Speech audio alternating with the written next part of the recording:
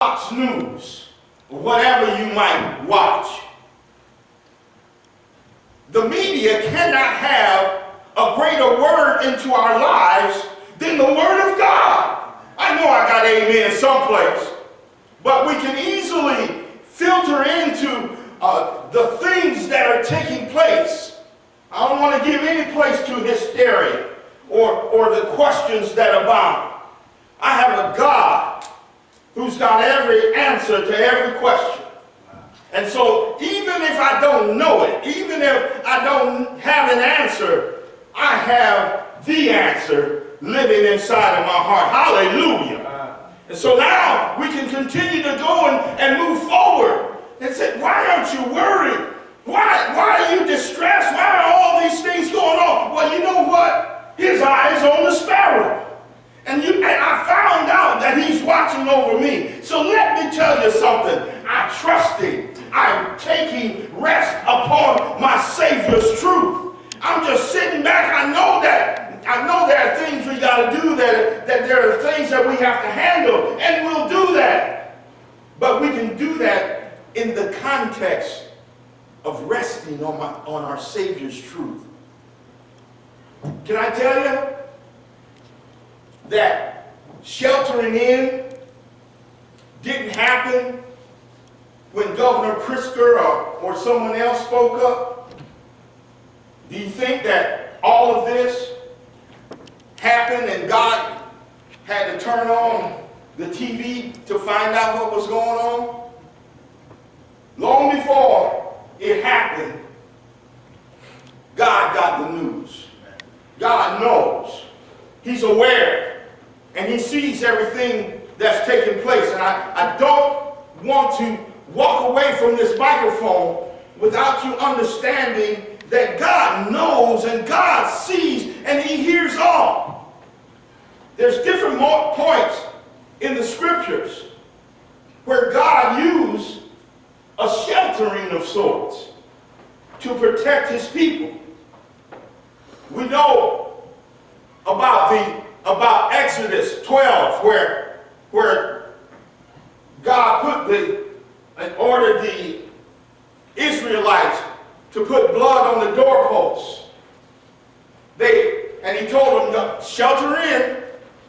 Did you hear this? He told them shelter in because when the death angel comes by, those who are covered by the blood, oh hallelujah, that those who are covered by the blood will be saved. Hallelujah. I want to tell you about another time in Genesis 19 when the angels came to get, to get Lot. Because in Sodom and Gomorrah, there was all kind of hell and confusion taking place. They were going to wait outside for Lot. But Lot told them, no, you got to come in. You got to shelter in. I, I want you to be safe because I'm going to need you in the morning. There are things that have happened in our times and in our past that begin to give us more understanding of the things that God did in the process of sheltering. There was another moment of time in the book of Joshua where a woman named Rahab was in the land and in the midst of that situation Joshua and another man came to came to spy out the land, came to see the land. It was noised abroad that they were coming. And they, they, they went to see Rahab. And Rahab hid them in the house. And then when the men came to, to get Joshua, she hid them up on the roof. They, they sheltered in. And somebody's got to hear that today. They, they found a place where they were safe. Let me just read part of that. Joshua 2 verse 8. I'm going to read just a little bit. Before the men laid down, she came upon, upon them to the, on the roof and said to the men, I know that the Lord has given you the land. Somebody's got to hear this today and that the fear of you, not fear of the land, not fear of the giants, not fear of the situation, that the fear of you has fallen upon us, and that all the inhabitants of the land melt away before you. For we have heard how the Lord dried up the water of the Red Sea before you when you came out of Egypt, and what you did to the two kings of the Amorites who were beyond the Jordan, to Sihon and Og, whom you devoted, devoted to destruction. And as soon as we heard it, our hearts melted. And there was no spirit left in any man because of you. For the Lord your God, he is God in the heavens above and on the earth beneath.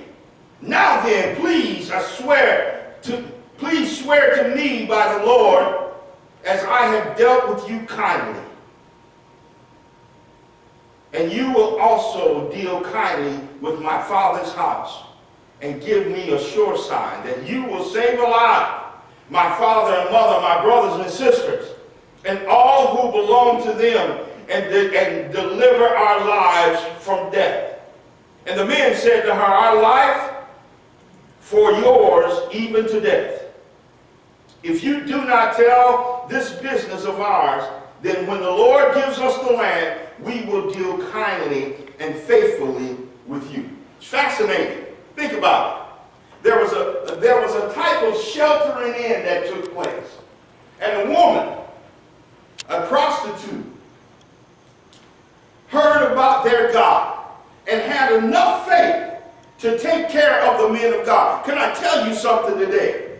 During this time of sheltering in, there, there is a, a, there are prayers that are going forth. There's a move that's happening. There's a change that's taking place. Hallelujah. That is that would not otherwise happen without some of us sheltering in. I want you to get it today.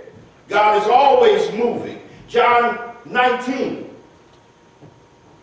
The same, then the same day, I believe this verse 1. The same day at evening, for being the first day of the week, when the doors were shut where the disciples were assembled. You hear that? The, the disciples had sheltered in. Why? For the fear of the Jews. It came, and then came Jesus in the midst and said unto them, Peace be unto you. And when they, when he said so, he showed unto them his hands and his side. And then the disciples were glad when they saw the Lord. Then said Jesus to them again, Peace be unto you. As my Father has sent me, even so I send you. I, I want you to, I, I just want you to picture yourself sheltering in. I want you to picture Jesus stepping into the room. I want you to picture that moment in time. See, we're, we're sheltering in for a reason, for a purpose to keep stuff out.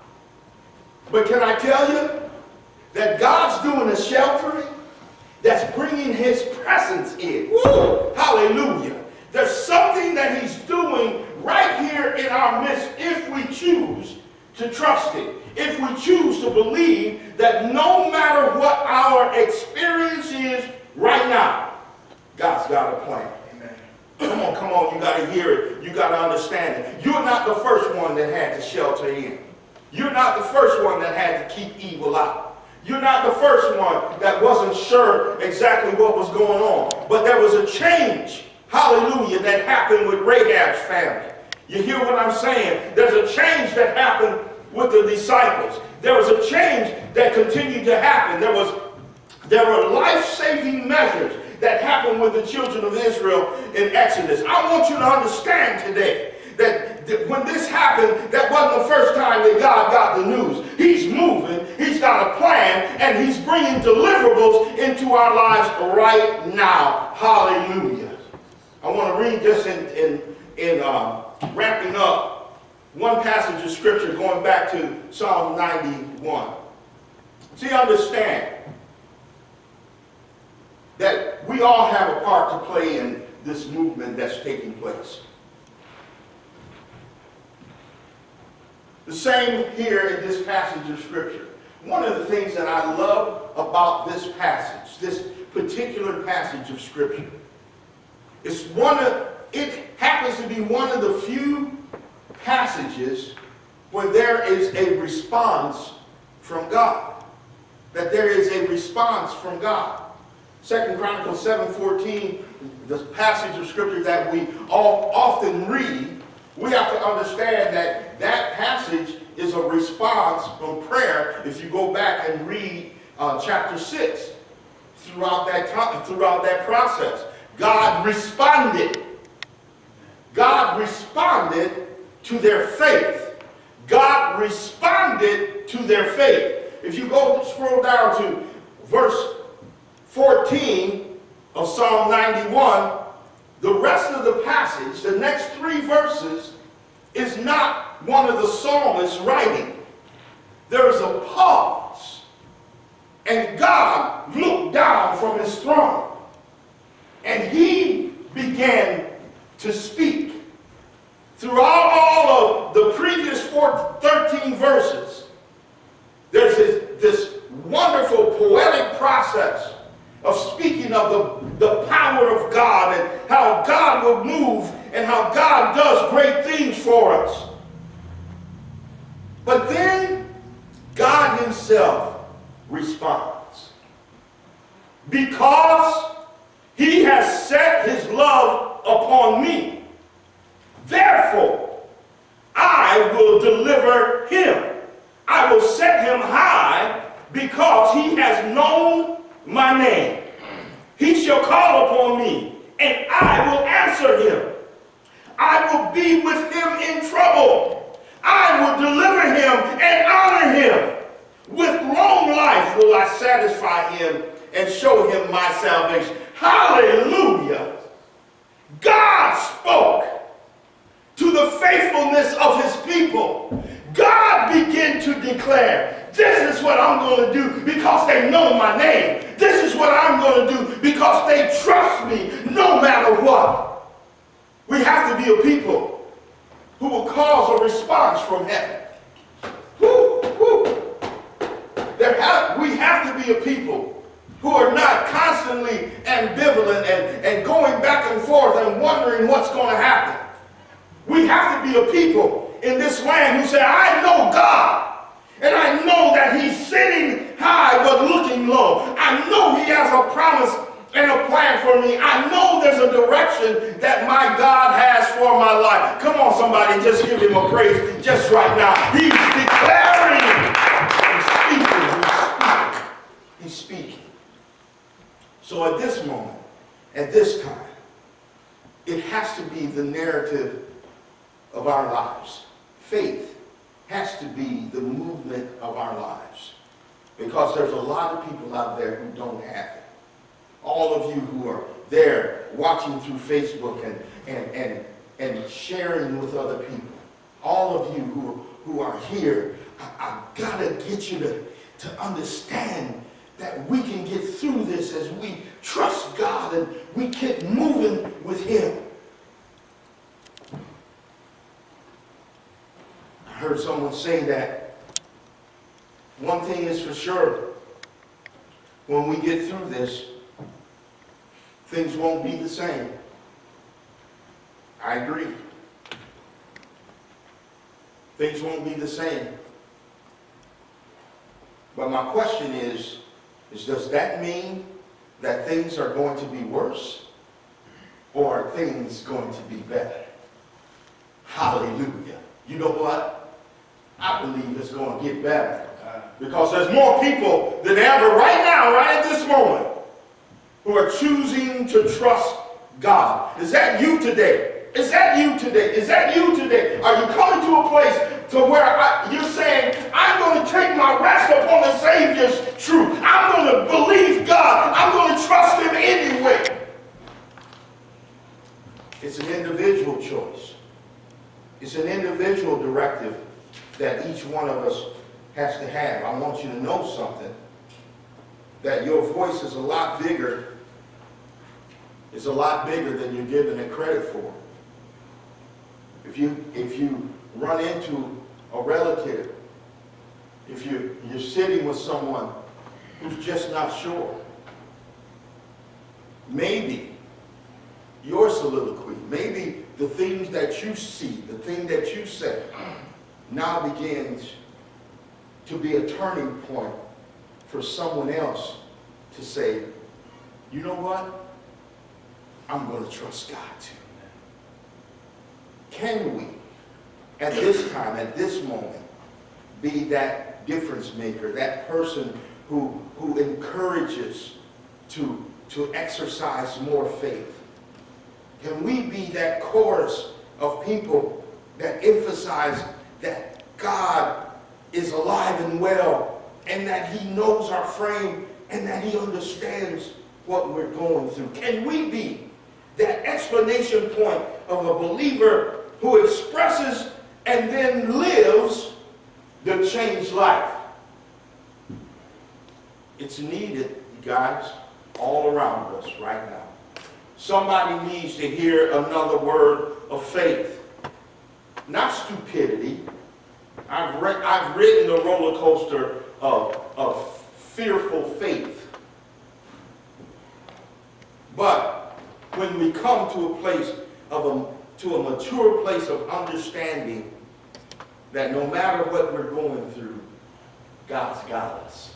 No matter what we're, what we're experiencing right now, we can trust Him. We can rest. We can say, it's going to be okay. Let's pray.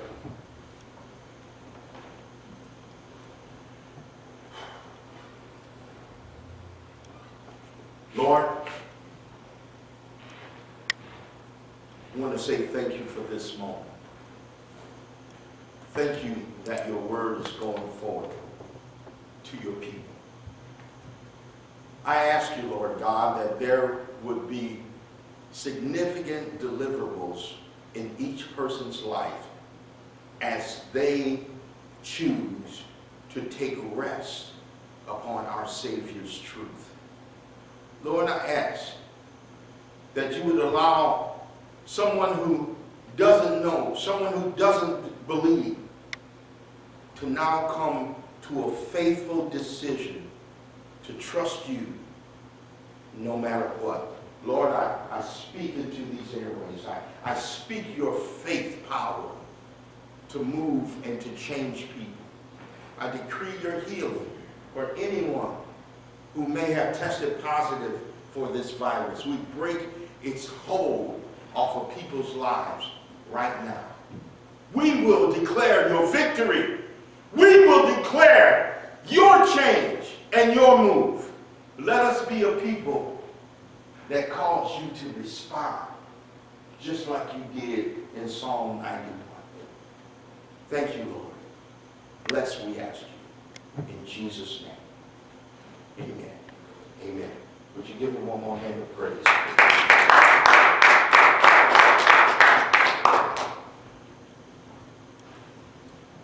We want to thank you for tuning in, for taking time to be here with us. We need to receive our offering, and that is just as important a part of worship as the songs we sing and receiving the Word of God. I'm asking that those of you who are, who are watching by Facebook can do one of two things. You can go to worshipctr.com. That's worshipctr.com. Scroll down on the very first page and you will see a place for donations that says in yellow, pay now. I ask that you just blow up that site right now. Give your gifts to the Lord. I'm going to be here for at least another hour or so. If you desire to come out as you're going to the Walmart Worship Center before you take your money there, if you would come and give your offering here, we'll be here. There'll be one, one or two of us here that can receive your offering and make sure that it gets deposited. Um, our app is available, it's open and working. But let me just say that the app actually takes you right to uh, the website. So you can skip that portion and just go directly to the website, the very first page, scroll down to the yellow box that says Pay Now. Thank you. Thank you for supporting your church, for supporting your ministry. We're going to continue to do all that we can to, to spread the gospel, to share his word with you, and to be here to pray and stand with you no matter what. Okay? Anything else? God bless you. We love you, and we'll see you real soon.